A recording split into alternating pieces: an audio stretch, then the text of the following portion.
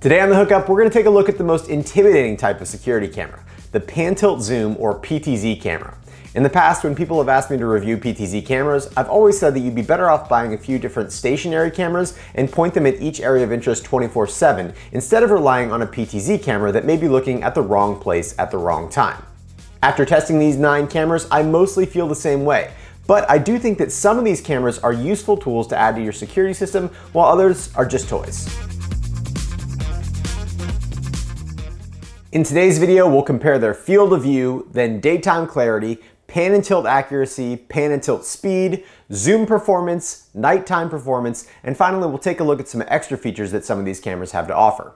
All of my tests were completed in the Blue Iris NVR software unless otherwise noted. This video is sponsored by HolidayCoro.com, one of the largest light show vendors in America. And the best time to get into the hobby is right now in the off season. By starting early, you can make sure that you're all ready to go when Halloween and Christmas sneak up on you. Holiday Coro has you covered with pre-built kits including props, controllers, LEDs, and power supplies to give you that boost that you need to start your first show, or maybe just level up your existing show. Check out Holiday Coro using the link in the description to support this channel. Here are the nine cameras that I'll be testing in this video, starting with the least expensive. For $43, we've got the B-Sider Pan and Tilt security camera. The B-Sider features 1080p resolution, no optical zoom, plastic construction, wired or wireless connection, 12 volts power with no PoE, and it's viewable in the ICSee app or via ONVIF RTSP for NVR compatibility. The B-Sider records to a removable SD card, which is not included, or to the ICSee cloud, which keeps three days of motion detection footage for $4.99 a month. Next, for $80 is the NetVue Sentry Pro, which features 3 megapixel resolution, no optical zoom, plastic and metal construction, wired or wireless connection, and 12 volt power with no PoE. The NetVue Sentry is viewable in the NetVue app only and can record to a removable SD card which is not included or to the NetVue Cloud which is 199 per month. For $99 is the brand new Reolink E1 Outdoor which features 5 megapixel resolution, 3 times optical zoom, plastic construction, wired or wireless connection, and 12 volt power with no PoE. The E1 Outdoor is viewable in the Reolink app, web interface, or via ONVIF RTSP. The E1 Outdoor records to a removable SD card, which is not included, or to the Reolink Cloud, which is free to store 7 days of footage for a single camera, or 349 a month for 30 days of footage on up to 5 cameras. Also from Reolink for $229 is the RLC 423, which features 5 megapixel resolution, 4 times optical zoom, it has metal and plastic construction, and a wired only connection with PoE Plus or a typical 12 volt barrel jack for power. The RLC 423 is viewable in the Reolink app, via a web interface, or via ONVIF RTSP. Like the E1 Outdoor, the RLC 423 records to a removable SD card, which is not included, or to the Reolink Cloud, which is free to store 7 days of footage for a single camera, or 349 a month for 30 days of footage on up to 5 cameras. For $239, I got a camera sold by VicViz that lacks any branding and just claims to be Hikvision compatible. This camera, which I will refer to for the rest of the video as Hikvision compatible, is 8 megapixels with 18 times optical zoom. The Hikvision compatible has plastic and metal construction and wired only connection with PoE Plus or a typical 12 volt barrel jack for power. The Hikvision compatible is viewable in Hikvision's HikConnect mobile app via web interface or ONVIF RTSP and also features a removable SD card for recording. Next is the Uniview IPC 675 blah blah blah that's on the screen, which has an MSRP of $559 but an actual street price of around $299. The Uniview features 5 megapixels with 4 times optical zoom, all plastic construction and wired only connection with PoE Plus or a typical 12 volt barrel jack for power. The Uniview is viewable in the EasyView app, web interface, or via ONVIF RTSP, and records to a removable SD card which is not included. The next three cameras are all priced the same at $499. The first is the Amcrest IP4M 1063 EW AI, which features 4 megapixel resolution, 25 times optical zoom, very sturdy metal and plastic construction, and wired only connection with PoE Plus or 12 volt barrel connectors for power. The Amcrest is viewable in the Amcrest View Pro app, via the web interface or ONVIF RTSP and records to a removable SD card which isn't included. It can also theoretically record to the Amcrest Cloud app, but that requires a separate app that I wasn't actually able to get this camera working in. Also for $499 is the Lorex LNZ 44P12B, which features 4 megapixel resolution, 12 times optical zoom, very sturdy metal and plastic construction, and wired only connection with PoE Plus or a 12 volt barrel connector for power. The Lorex camera is viewable in the Lorex Home app, web interface, or via ONVIF RTSP and records to a removable SD card, which is not included.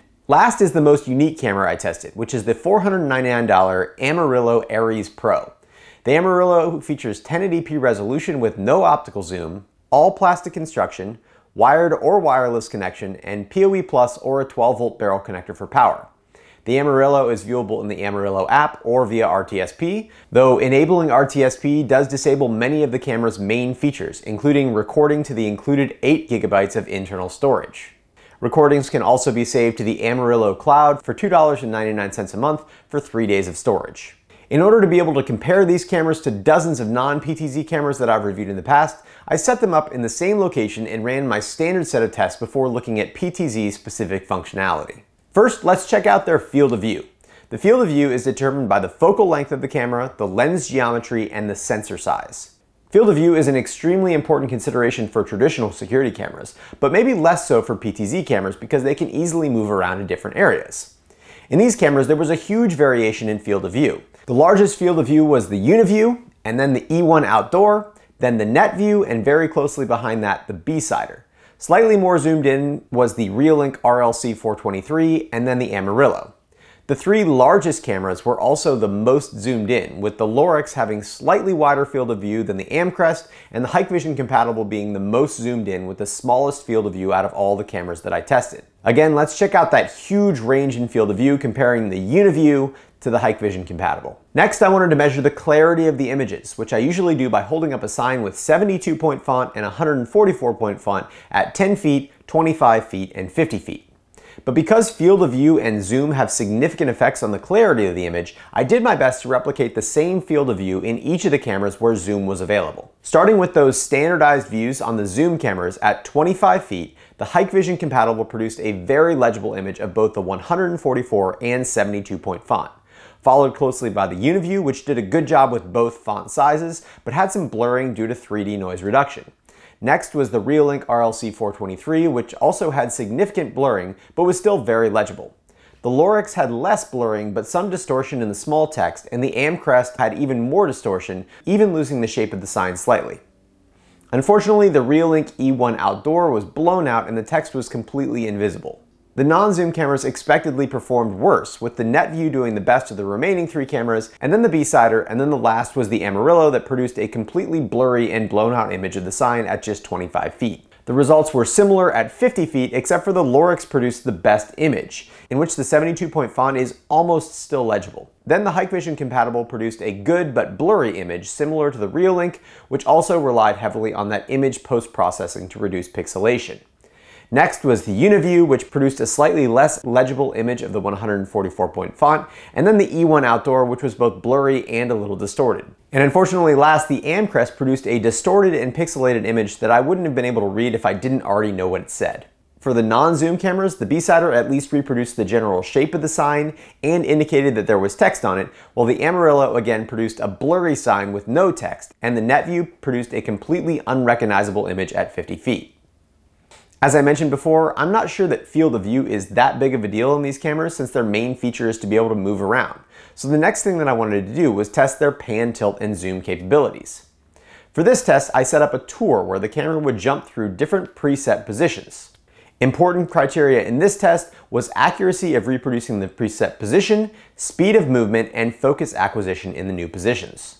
Starting with accuracy, the Lorex and Amcrest cameras performed the best and were able to accurately recall their positions even after multiple power cycles and taking the cameras up and down in different tests. The Hikvision compatible and UniView also did well in this test, but I noticed that there was a small amount of variation after taking the cameras up and down for testing. The Reolink RLC 423 also did a good job recalling positions, but it was the easiest to get out of alignment if it got bumped while the power was on. The RLC 423 also couldn't set its presets in Blue Iris, but once I set them up in the Reolink app, they could be recalled from Blue Iris. The Reolink E1 Outdoor that I have was not able to accurately recall preset positions at all. I think something may have been wrong with the internal gearing causing it to slip and get out of calibration. Even if it was just a defect in my unit, I think that the durability of those plastic gears is concerning, especially if you were going to use the PTZ functionality in this camera on a regular basis.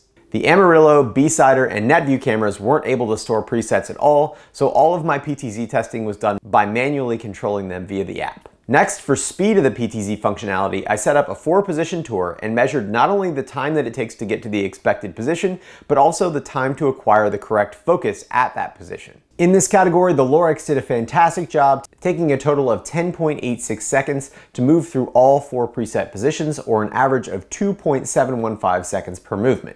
Next was the Amcrest that took a total of 15 seconds to get from point to point through each of the four preset positions for an average of 3.75 seconds. Then the Uniview took 16 seconds for an average of 4 seconds each and did a fantastic job maintaining focus throughout the movement. The Hikvision also scored decently, taking just 18.4 seconds in total for an average of 4.6 seconds per movement. And last was the Reolink RLC 423 that really struggled with optimal pathing between presets and took a significant time focus hunting after each movement. A good chunk of Reolink's total move time was caused by these issues in focus once it reached its position, and it ended up taking 39 seconds total or an average of 9.75 seconds per movement. As I mentioned before, the E1 Outdoor wasn't able to accurately recall any of its preset positions and experienced similar focus hunting problems to the RLC 423. Just based on the footage that I collected, it seems like the E1 Outdoor might have done a better job with finding optimal path, but it's hard to say for sure since none of the preset positions were accurately recalled. The remaining footage is mostly to give you an idea of the speed that each camera moved, but the B-Sider, NetVue, and Amaryllo cameras couldn't be accurately judged in this category since they not only lack the ability to create custom presets, but they also don't have any zoom capabilities, so their focus is always locked in in the same point. I will say on these three remaining cameras, I did find the pan and tilt on the B-Sider to be the easiest to operate in the app, with the Amaryllo and NetVue having enough lag that I often overshot the position that I wanted to look at. For zoom performance, I used the Tampa Bay Buccaneers flag in my neighbor's yard roughly 120 feet away as a reference point to take these images from the different zoom cameras. I was surprised by how similar each camera performed despite the fact that their zoom capabilities ranged from 12x on the Lorex to 18x on the Hikvision compatible and 25x on the Amcrest. In this category, the Hikvision compatible's 4K resolution and 18 times zoom really shine and produce this amazing image. Next, the Lorex's 12 times zoom did extremely well, even with half the resolution of the Hikvision, and even though the Amcrest has the highest advertised optical zoom, it seemed to have some real issues with video compression that resulted in more digital artifacts than I'd like to see. I actually went through after this test and double checked that it was on the same compression settings as the rest of the cameras, just to be sure. The Uniview had a few things working against it. First, it only has four times optical zoom. And second, it had the greatest initial field of view, meaning four times the zoom barely gets it to the initial field of view of the Hikvision. Still, it outperformed the four times optical zoom of the Reolink RLC 423, and predictably the worst performer in the zoom cameras was the Reolink E1 Outdoor with only three times optical zoom. Next, to measure the nighttime infrared performance of each camera, I repeated the same test from the daytime, but I used the 25 foot image for the comparison. For these tests, the IR on the camera was on and each camera was in night mode. In these tests, the RLC 423 produced the clearest nighttime image with no noticeable ghosting during movement. The Hikvision compatible was a close second and did a great job illuminating the entire scene without blowing out the details on my face. Next was the Uniview that also did a great job illuminating my face and capturing detail. After that was the Lorex that produced a flatter image, meaning that the shadows were lighter and the highlights were dimmer, not a bad image, but harder to see facial detail. And just as we saw in the other test, the Amcrest seems to have compression issues which cause artifacts in the video and make it difficult to read the text on the sign and see facial detail. After that, there was a pretty sharp drop off where the E1 Outdoor, NetVue, and B-Sider produced nighttime images with poor detail and lots of digital artifacting, and the Amaryllo's image was unacceptably bad. And aside from confirming that a human was present, it wouldn't be useful for much else, even at only 25 feet. A newer category that many people seem to be interested in is nighttime color images. So I ran the same test again without the IR LEDs and I forced each camera into daytime mode. If the camera had white LEDs available, I enabled them. The UniView image is significantly better than the rest in this category due to the fact that it has white LEDs, but the B-Sider and E1 Outdoor also have white LEDs and didn't produce nearly as high quality of an image. The Amcrest did okay with just ambient lights from my porch, while the Amaryllo performed terribly despite its very noticeable white LEDs. For whatever reason, I couldn't convince the Hikvision or Lorex cameras to turn off their black and white mode, but they still produced decent images without their infrared lights on, albeit black and white. And last, the RLC 423 produced a basically all black image without its IR LEDs. Wrapping it up, let's take a look at the extra features of these cameras. The feature that I was initially most interested in was auto motion tracking that follows a moving subject around. The B-Sider, Reolink E1 Outdoor, and Amaryllo all offer this feature, but after testing it, I can see why it's not a more standard feature. Occasionally, auto tracking worked very well, but for the most part, it caused the camera to search around aimlessly, which made it distracting to have up on my computer screen because out of the corner of my eye, I couldn't tell the difference between actual movement and the camera just randomly deciding to pan around. Even worse, at night, bugs can trigger the auto tracking, and depending on where the bug is, it might cause you to miss an important motion event somewhere else in the camera's range. Auto tracking is definitely something that I would classify as a toy and not a tool. However, similar to auto tracking, the Amcrest and UniView cameras have smart features like person detection, facial detection, line crossing, abandoned objects, and missing object tracking. These features can trigger recordings, PTZ presets, or even trigger the relay output for an external alarm siren. An interesting use case for these features might be to combine them with their great zoom capabilities to record license plates in states like Florida that only require a rear license plate you can use the directional line crossing with a car filter to trigger a PTZ position that zooms in on the road to capture license plates for passing cars before returning to its home position.